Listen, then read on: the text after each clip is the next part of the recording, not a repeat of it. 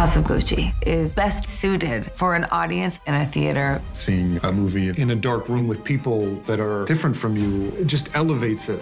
Rolling. I'm happy to be part of a movie that is meant to be experienced that way. Action!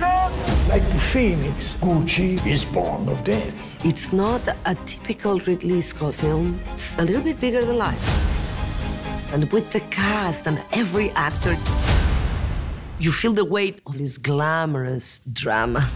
When you go to a movie theater, you have a feeling you've been through something. This film was designed to be seen on the big screen. The quality of the image, of the sound. It is such a wild ride, and every second of it is entertaining. That's why you go to the movies.